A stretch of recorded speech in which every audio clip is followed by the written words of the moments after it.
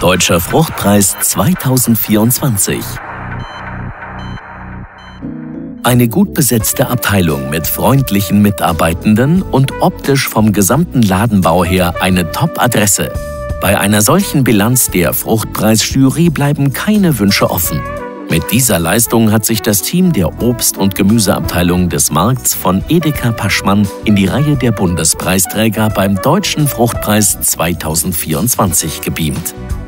Es nennt sich Paschmanns Früchtehaus. Im Markt der Weseler Straße in Mülheim an der Ruhr präsentieren sechs Mitarbeitende auf einer Verkaufsfläche von 300 Quadratmetern rund 510 Obst- und Gemüsesorten in super Qualität, gepflegt und in einer Optik, die begeistert.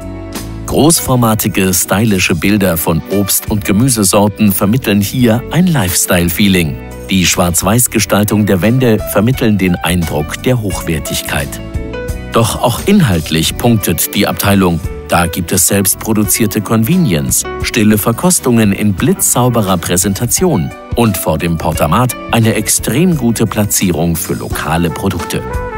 Warenkunden informieren besonders über Exoten und Pilze. Eine Abteilung des großen Auftritts, in der jeder Kunde gerne einkauft und noch ein wenig länger verweilt, als er eigentlich vom Einkaufszettel her wollte und müsste, lobt ein weiterer Fruchtpreisjuror nach dem Beurteilungsbesuch.